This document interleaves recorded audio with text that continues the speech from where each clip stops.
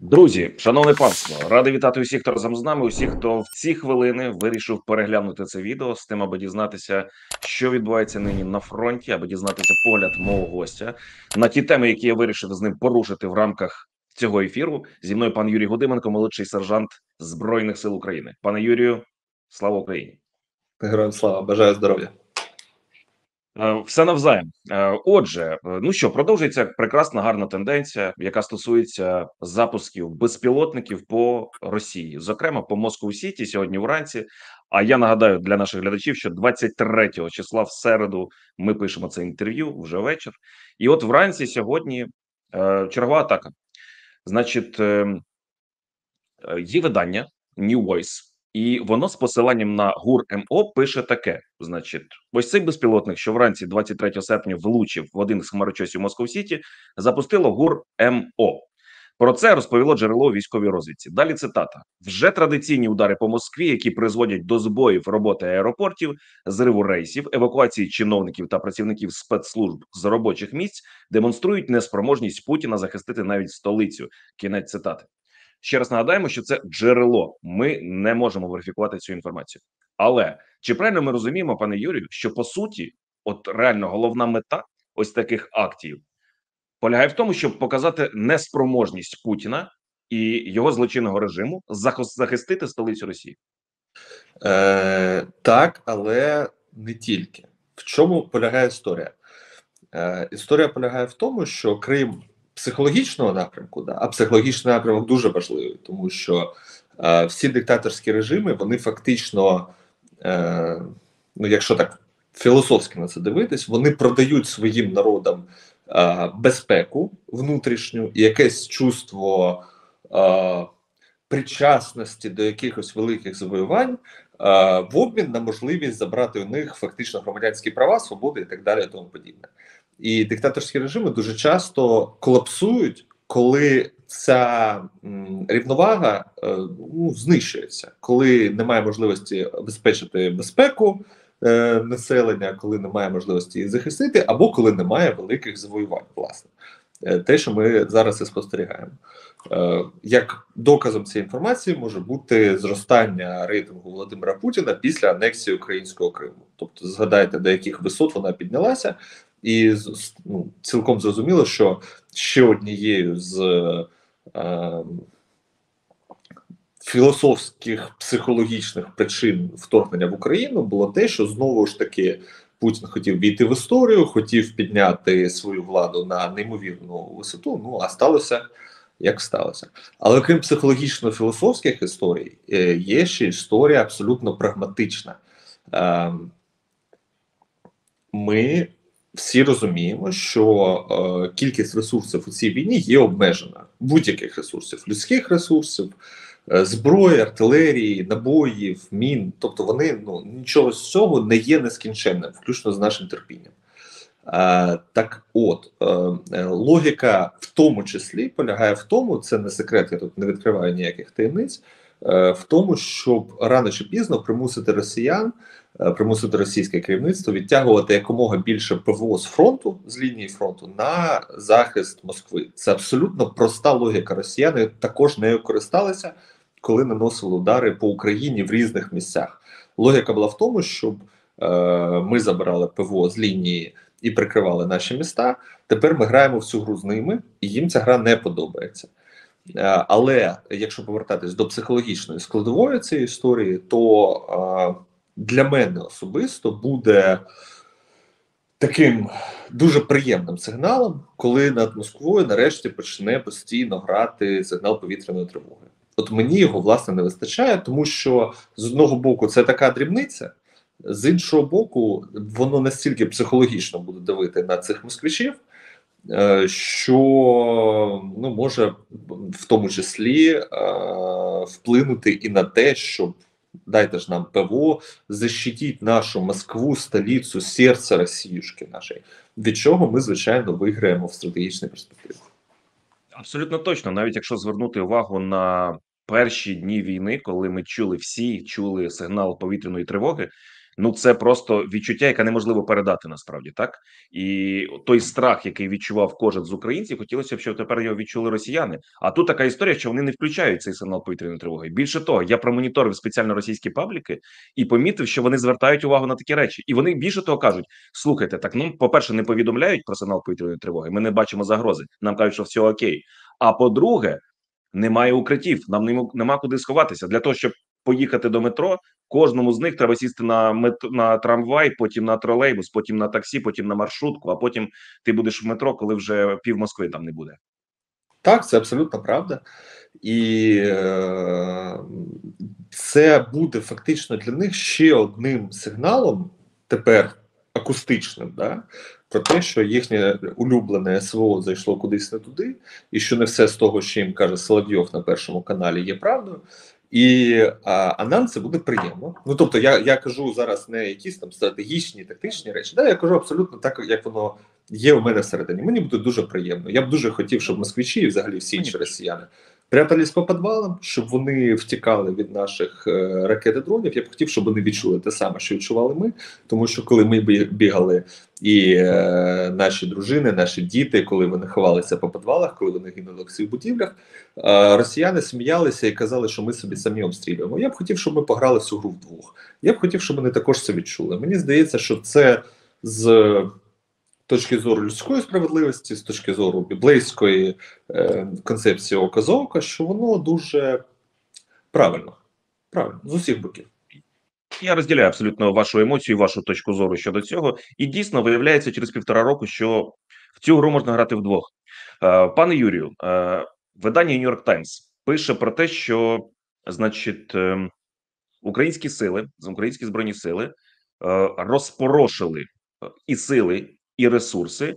А треба було б спрямувати, як пишуть вони з посиланням на неназваних чиновників на одному напрямку. Хочу процитувати: головна мета контрнаступу відрізати російські лінії постачання на півдні України, розірвавши так званий сухопутний міст між Росією і окупованим Кримським півостровом. Але замість того, щоб зосередитися на цьому, українське командування розподілило війська і вогневі засоби приблизно порівну між сходом і півднем, кажуть американські чиновники. Кінець цитати: от що вищому військовому командуванню і вам, зокрема, як представникові збройних сил України, відповісти і тим журналістам, і тим чиновникам, неназваним, які ось так вважають. А, Перше. Е... Е, дуже е, приємно розуміти, що тепер в світі е, всі люди розбираються не тільки в футболі і в політиці, а ще й в тому, як правильно проводити український наступ. Це приємна тенденція, ем, вона я б сказав вражає. Але я ніколи не чув, що, по-перше, е, американські чиновники дійсно розуміли всі наші сили, ресурси, цілі завдання, і е, в тому числі наше небажання е, жертвувати зайвими силами. По-друге, Мені б хотілося нагадати всьому світу, що за останні десятиріччя лише Україна проводила і проводить серйозні військові загальновійськові операції проти ем, не просто проти серйозного супротивника, да не просто проти якихось там терористів, які по пустелях бігають, а проти супротивника, в якого є повноцінна ПВО, в якого є система РЕП, система РЕР. Е, в якого є сучасні ракети, ем, авіація, флот в тому числі атомний, і тому поради вони цінні. Е, щось схоже в свій, свій час писали і Клаузевіц, і Сунцзи, і багато хто. Але як би так пом'якше сказати, щось мені здається, що пану Залужному Генеральному штабу України трішечки трішечки відніше, ніж неназваному американському чиновнику, який дає коментарі Нью-Йорк Таймс. На цьому можна відповідь завершити, бо далі підуть е, не зовсім дипломатичні вислови. Я б хотів, щоб їх не було. Розумію вас, як ніхто. Е, Інститут вивчення війни пише про те, що просування підроботаним наближає збройні сили до другої лінії ворога, яка може бути слабшою. Експерти не помітили прибуття будь-яких нових російських з'єднань чи частин у західну Запорізьку область за винятком перекидання ворожих частин 7-ї дивізії ВДВ і прибуття елементів батальйону Ахмат Південь у серпні. Ну тобто, все фактично знову експерти зводять до того, що друга лінія може бути менш проблематичною ніж перша. Скажіть, будь ласка, е, чи дійсно так може бути? Чи дійсно фактично та тотальна замінованість, яка передує першій лінії в рамках другої і третьої, вона є не такою щільною? Ем, ну, дивіться, в чому полягає справа. А, може, на момент е, нашого початку просування в напрямку Роботіно, воно дійсно так і було. Але е, розумієте, мінування це така штука, що її можна робити от зараз, поки ми з вами розмовляємо.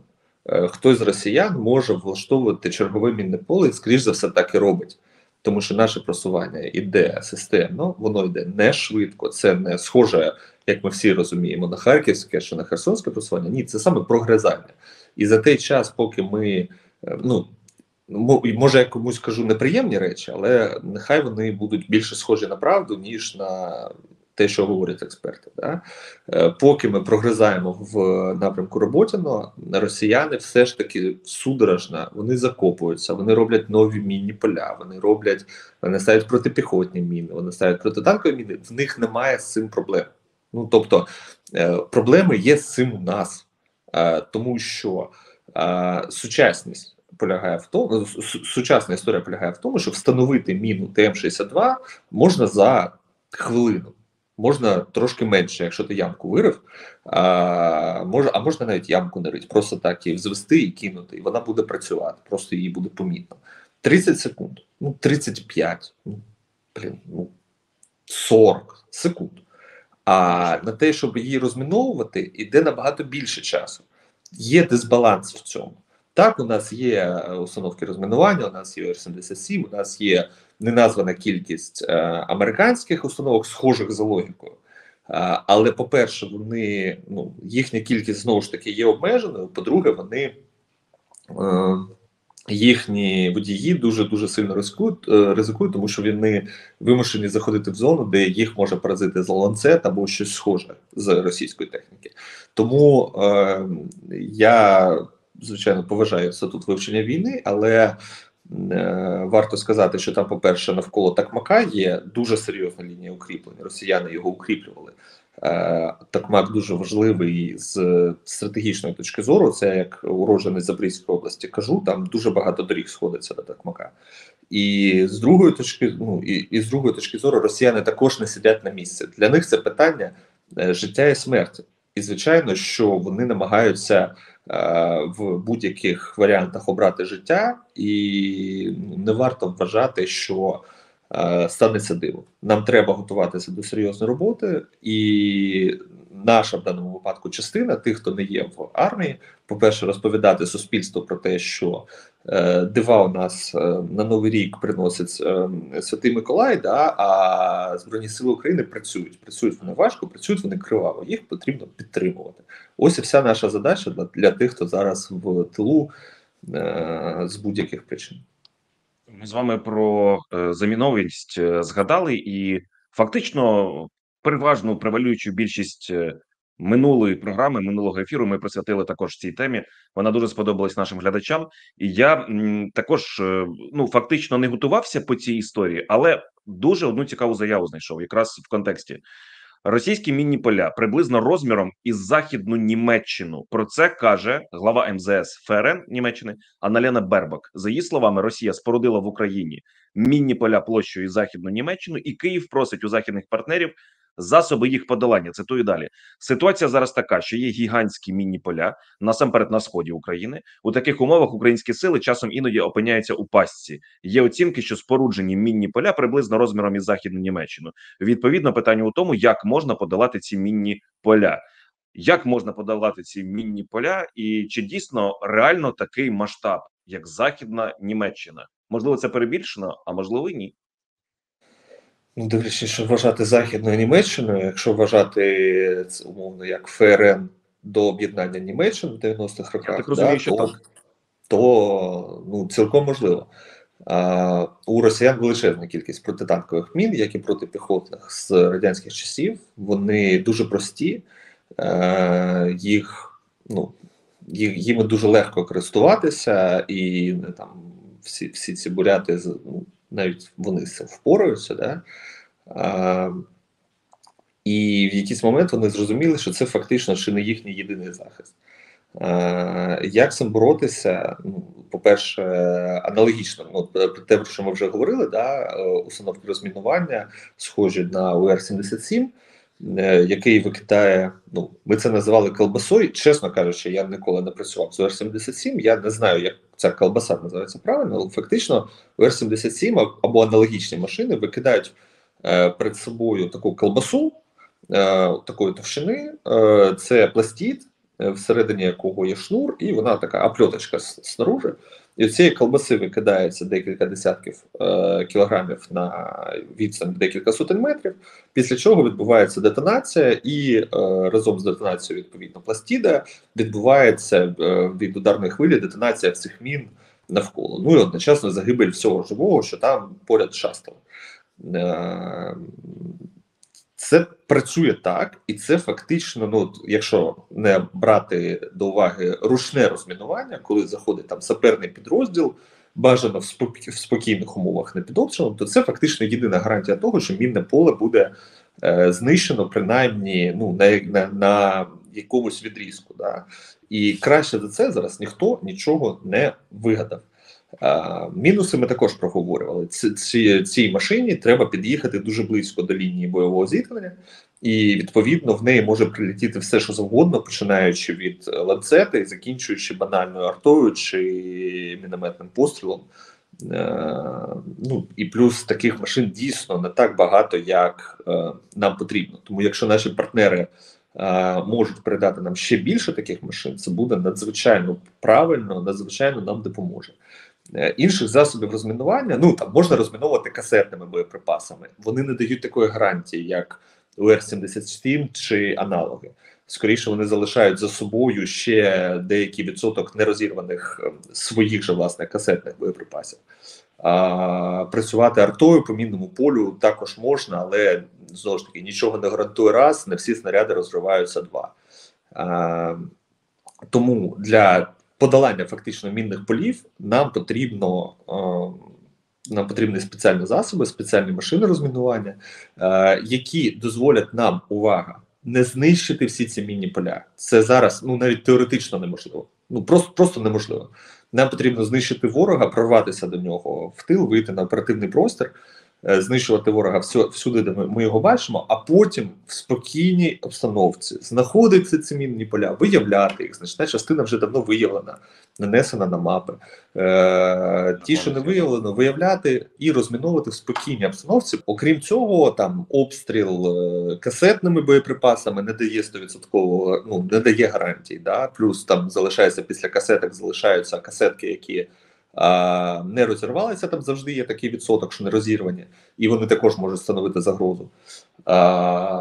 Обстріл артою також не дає 100% гарантії, що здетонують ці міни там на якійсь території.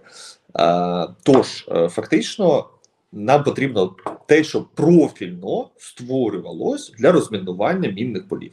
Е, це ОР-77 в радянському виконанні і американські європейські аналоги, які у них також стоять на озброєнні, але ну, але в них їх не така кількість, тому що вони ніколи а, за останні десятиріччя навіть думки їм не приходили, що їм е, колись доведеться воювати з країною, яка може збудувати мінне поле розміром з Німеччину або принаймні з частину Німеччини. Да?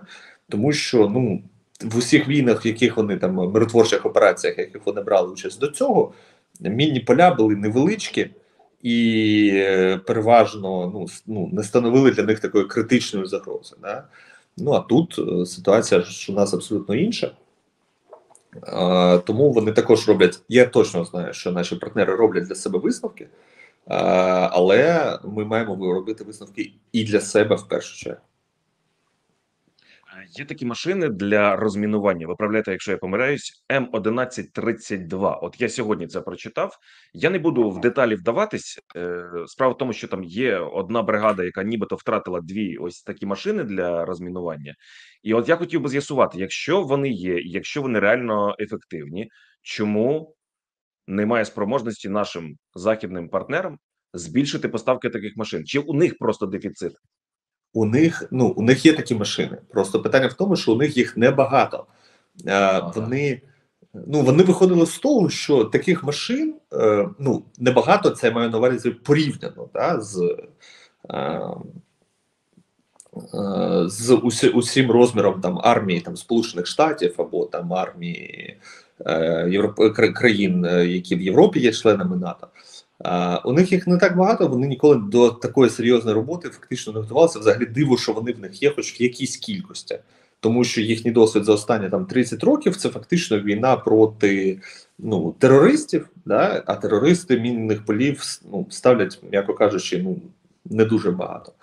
А, а наш супротивник одночасно з цим він, е, по-перше, має величезну кількість мін. Е, По-друге, він е, вміє ними користуватися.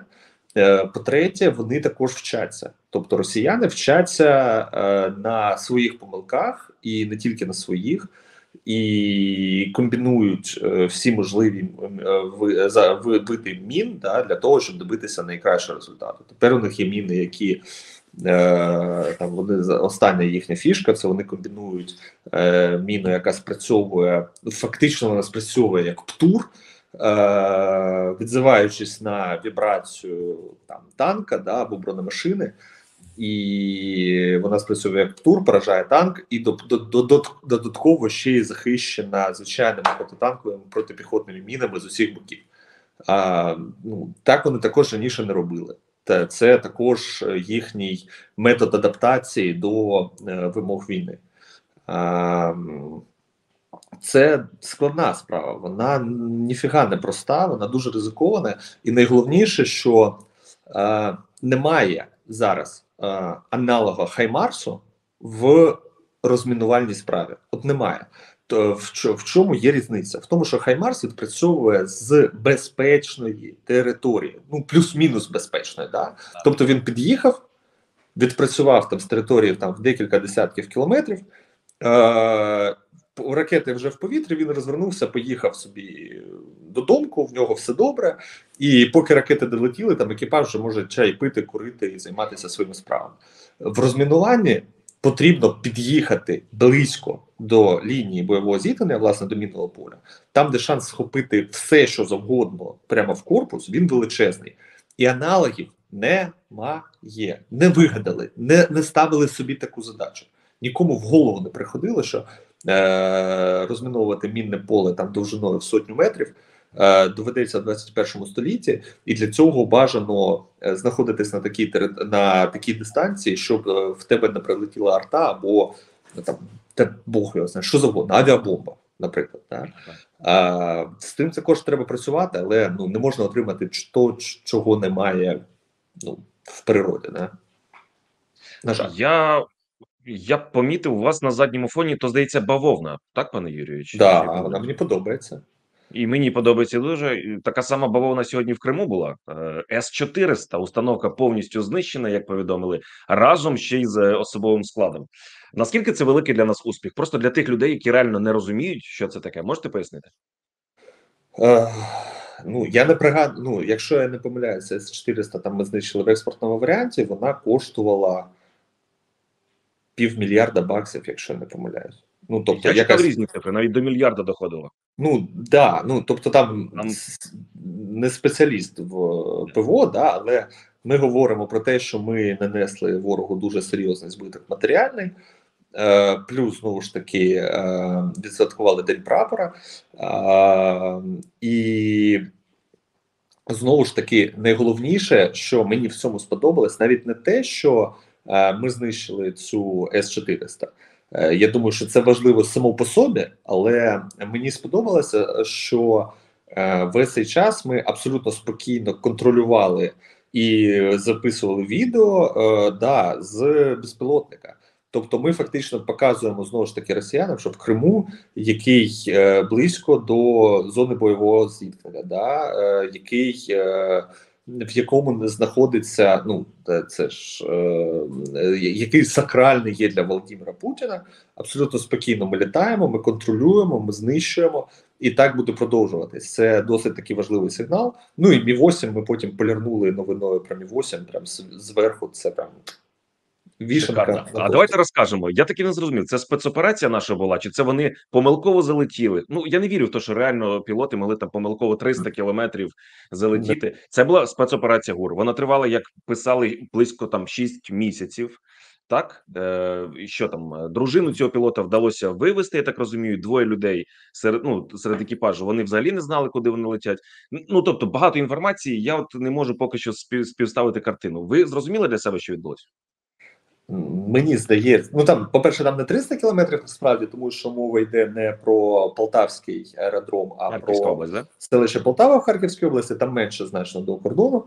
Е, по-друге, вся ця е, їхня фігня, е, яку вони зараз росіяни намагаються пояснити самі собі про те, що екіпаж заблукав, не побачив GPS, в нього зламалась зламався компас, летіли по пачці Біломор-канала. Ну коротше, це така фігня, що я ну ну да, давайте про це взагалі серйозно не говорити. Да. Летіли вони цілеспрямовано, і е, мені здається, що версія ГУР е, не будемо там вдаватися в деталі щодо того, що вони там приукрасили, про що вони не сказали. Да, Це ж все ж таки розвідка, вона має бути такою загадочною. Але ну, їхня версія, вона принаймні повністю логічна, що росіянин е, зрадив свою батьківщину, погодився за е, гроші, спокій, можливість жити в спокійній вільній країні або там виїхати кудись в Європу під чужим ім'ям, е, погодився прилетіти з точки А в точку Б. І, і відповідно це виконав. Здається, весь інший екіпаж був не в курсі цієї події.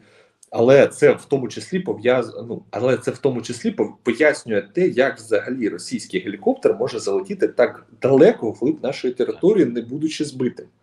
Е, У нас, ну я тут я думаю, що великого секрету не, відкрию, що е, наші взагалі ну, бійці е, періодично стріляють і по нашим самольотам, вертольотам. Вони ж не ну не випадково всі наші гелікоптери, всі наші самольоти пофарбовані в синьо-жовтий так, що навіть вночі видно наскільки воно синьо-жовте, та щоб ну не було можливості приплутати.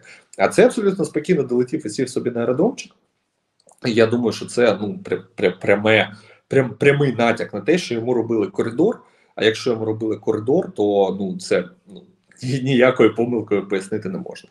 Просто здається, що пан командир не поставив е, до відома своїх підлеглих, ну і підлеглих стало трошки менше кількісно. Ну, таке буває. Що робити? Буває. Буває так. Як там каже буває. російський а... цей блогер, вічного польоту. Вічного польоту, так. Да. Пане Юрію, а є відчуття, що це реально лише перша ластівка? Ну тобто, фактично, це ж якщо класно інформаційно подати цю історію, то можна розраховувати і на інших людей, які так само можуть чинити, послідувати прикладу, перевести сюди і техніку, і поповнити обмінний фонд, або не поповнити обмінний фонд, тому що потрібно показати, можливо, це так, що ви будете тепер в безпеці, да, що ви або там залишитесь і загинете, або прилітайте сюди, і ви тут будете в безпеці. Там мінус техніка, мінус люди, які спеціалісти, які навчені, фактично для нас це великий плюс. Ну фактично, я думаю, що е, я думаю, що це може бути перша ластівка. Я ну чесно, е, я не думаю, що воно стане е, прям такою системою. Прям системою, да, що кожного дня у нас тут будуть сідати тушки, там мігі і все таке. Але е, я думаю, що ще декілька епізодів принаймні ми побачимо, і це ж не ми перші таки придумали, і не ми перші таке використовуємо. Е, тому що е, можна згадати, як до Ізраїлю прилітав арабський пілот на новішому міг, до речі, тоді, а, який його угнав і жив потім довго і щасливо. А, Можна згадати інші приклади, і це ну це досить поширена практика, і мені здається, що зараз її ефективність буде набагато більше, тому що в нас є канал передачі інформації туди, в Росію. Е, Вони читають наші телеграм-канали. вони дивляться наші YouTube новини, е, вони черпають велику кількість інформації від нас, тому що в них є ну є закритість всередині країни, та і подивившись Соловйова. Е, Там або там перший канал е, абсолютно незрозуміло, з яких причин ця найвеличніша і найнепереможніша армія втікала з під Києва або з під Харкова, або з під Херсона. Да? Е, Тому вони лізуть до нас в пошуках інформації. Вони цю інформацію отримують, вони її передають всередині себе. І я думаю, що якщо ГУР продовжить вдало комунікувати цю історію, покаже цього льотчика, дасть з ним інтерв'ю, що він класний. Дивіться, в якому будинку він тепер живе. Дивіться, це паспорт громадянина Євросоюзу. Ну коротше, я ну я жартую, звичайно. Але якщо е, буде така логіка, е, то чому б ні? Е, вибір дуже простий, дуже простий. На фоні новин про е, десь плюс-мінус сотню F-16 з сучасними ракетами, на фоні новин про е, ще нові нові поставки українського ПВО, кожен пілот е, російських воздушно-космічних сіл е, розуміє, що він може, по-перше, побачити космос трішки раніше, ніж стане космонавтом. Е, по-друге, що його шанси на виживання ну, кожного дня фактично зменшуються, і якщо з одного боку це можна трактувати як кнут, то на іншому боці лежить пряник. Пряник це втекти, отримати гроші, отримати вивезених родичів, отримати нове громадянство і шанс почати життя з нуля в безпеці. Тому що коли ти мертвий, ти не можеш такий вибір вже зробити. А мертвими будуть вони всі, і я думаю, що вони так чи інакше це розуміють. Неймовірна крапка в рамках нашої дискусії, пане Юрію. Я вам дуже дякую за як завжди класну розмову, цікаву розмову, професійну розмову. Можливо, е, уважний глядач помітить, що у нас були дещо трабли зі зв'язком. Тому я і перед вами е, перепрошую за це і бажаю вам успіху. Бережіть себе, будь ласка. Да, гарного дня, до побачення.